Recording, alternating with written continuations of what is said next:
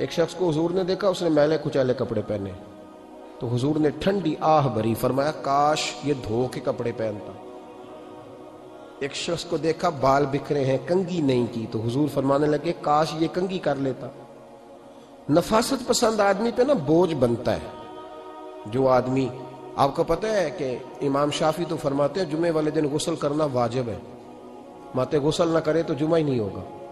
अगरचे हमारे इमाम साहब के नज़दीक सुन्नत है। ये सुन्नत कब बना?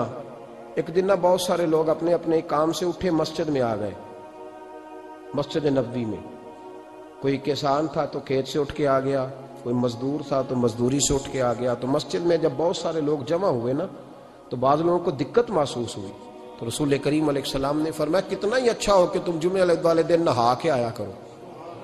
बस वो सिहाबा का मिजाज हमारे वाला नहीं था कि तफसील बताएँ, हिकमत बताएँ, मिलेगा क्या, स्वाब कितना, ना नहाए तो गुना ये कोई नहीं। हुजूर ने कहा कि नहा के आओ तो कितना ही अच्छा है। फिर किसी सिहाबी ने कभी भी बगैर गुसल किए जुमा अदा ही नहीं किया। किसी ने बगैर गुसल के कभी जुमा अदा ही नहीं ना। इस्लाम बड़ा खूबसूरत दीन है। हुजूर ने फरमाया, जो कच्चा प्याज खाए वो मस्जिद ना आए। पहले मिसवाक करे, दांत साफ़ करे, फिर आए। नबी पाक सल्लल्लाहु अलैहि वसल्लम ने फरमाया, जो कच्ची मूली खाए, मस्जिद ना आए। मूली खाना जायज़ है, प्याज खाना जायज़ है, लेकिन मुँह से बदबू आती है। नबी पाक सलाम का जाहरी हुसन क्या बात है? मिलाद मुबारक में नबी पाक सलाम की जो चीज़ बड़ी खुल के वादे आती, होती है, वो रसूलुल्लाह का हुसन जमाल है। आपकी वालदा आपकी वालदा आपकी वालदा, सैयदा, तैयबा, ताहिरा। हज़रत सैदा आमिना रदी अल्लाह तम्मा जी कहती हैं कि मेरे महबूब जब मेरे बतने अकदस में आए तो जो तकालीफ औरतों को होती है, मुझे उनमें से कोई तकलीफ़ भी नहीं हुई। और अम्मा जी कहती है, मुझे कभी कोई सिकल, कोई बोझ महसूस नहीं हुआ। और फरमाती हैं कि जो विलादत के वक्त लोगों को, औरतों को तकलीफ़ होती है, मुझे वो भी नहीं हुई।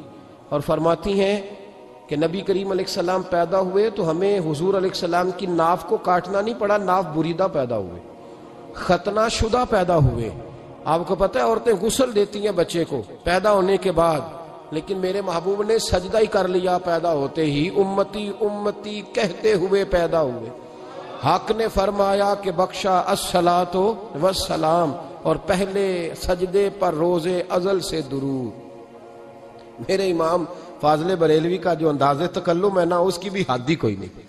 कोई हादी नहीं, कहाँ तक उनकी मोहब्बत जाती? करने लगे, पहले सजदे पे रोज़े, अजल से दुरूद, यादगारी ये उम्मत पे लाखों सलाम। यादगारी ये उम्मत पे लाखों सलाम। बताइए, बगैर वज़ू के, बगैर गुसल के सजदा हो जाता है? तो हुजूर ने सजदा करके बताया कि अल्लाह ने मुझे पाक साफ़ पैदा किया है। नबी पाक सल्लल्लाहु अलैहि वसल्लम की वालदा ने जब ये बातें इरशाद फरमाई तो लोगों ने पूछा उनसे कि, अम्मा जी, फिर आप एक जुमले में बताएँ कि माजरा सारा क्या था? आखिर एक विलादत तो हुई ना? आपके वजूद अतहर से एक बच्चा तो निकला तो ये क्या था? तो सैयद आमना फरमाने लगी, खाराजा मिन्नी नूर। बस मेरे वजूद से एक नूर निकला बस मेरे वजूद से एक, और रोशनी आती जाती है तो किसी को तकलीफ़ नहीं देती। एक नूर निकला। मेरे रसूल करीम सलाम को जायरी हुसन भी कमाल दिया और फिर हुजूर की नफासत पसंदी, सफ़ाई पसंदी। नबी पाक जब बात करते थे ना तो हुजूर के दांतों से नूर निकलता। इसके बावजूद हुजूर हर वज़ू के लिए मिसवाक करते। मैंने हर नमाज़ के लिए नहीं कहा, मैं अपने लफ्जों का जिम्मेदार हूँ। किसके लिए? बोले आप हजरात। हर वज़ू के लिए, यानी अगर नबी पाक ने वज़ू नमाज़ के लिए किया, तब भी मिसवाक की, और अगर कुरान शरीफ की तिलावत के लिए किया तो फिर भी मिसवाक की। किसी और मौके के लिए वज़ू फरमाया तो फिर भी मिसवाक की। और सैयद आयशा फरमाती है, जब भी हुजूर घर से निकलने लगते, पहले मिसवाक फरमाते। हालाँकि रसूल पाक के दंदाने अकदस तो नूर वाले थे, ज़रूरत ही नहीं थी। हमारी तालीम के लिए नफासत पसंदी एक बात मैंने शुरू करनी है पर आपने नाराज नहीं होना पहले वादा कर ले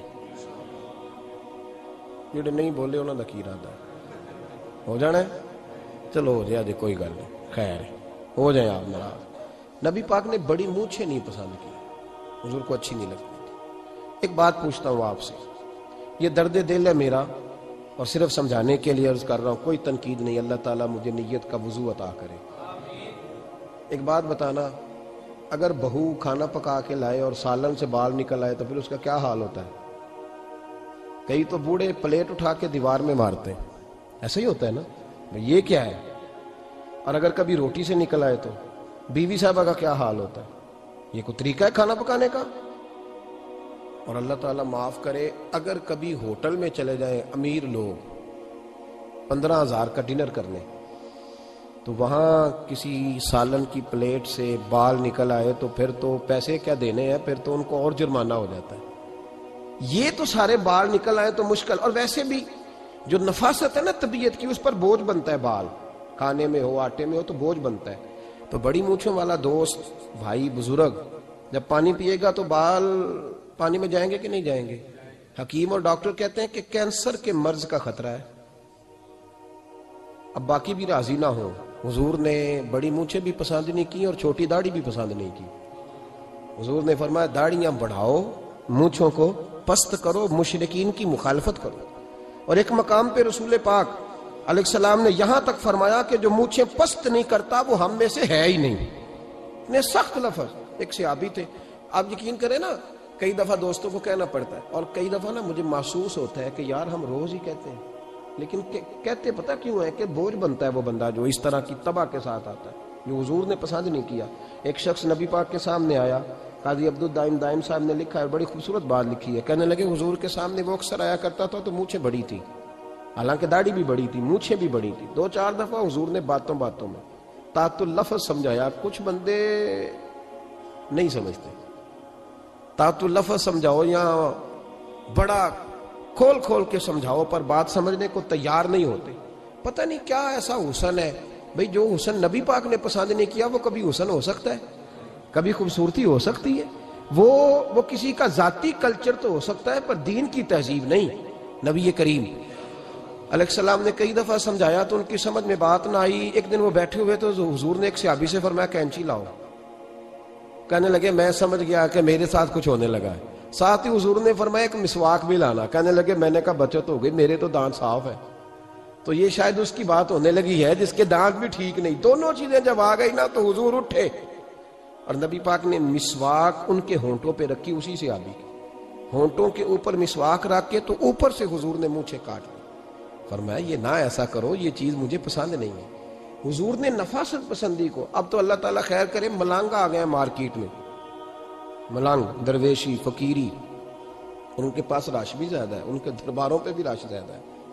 हाँ जी, कहते हैं हज़रत साहब दरवेश आदमी है। भाई रोटी तो पूरे टाइम पे खाता है, मूछे कटवाने में ही दरवेश हो गया ना बाल कटवाता है, ना मूछे कटवाता है। ये गुरु नानक की तालीमत है, ये नबी पाक की तालीम नहीं। वजूद का कोई बाल ना कटवाना, ये सिखों का तरीका है। मुसलमानों का ये अंदाज, ये किधर की फकीरी है? दीन कोई गलाजतों वाला माज अल्लाह कि बाबा कपड़े नहीं बदलता, बाबा गुसल नहीं करता, बाबा बाल नहीं कटवाता। बाबा पागल है। कति तौर पर कोई फकीरी नहीं। फकीरी सिर्फ़ वो है जो मेरे नबी ने किया है।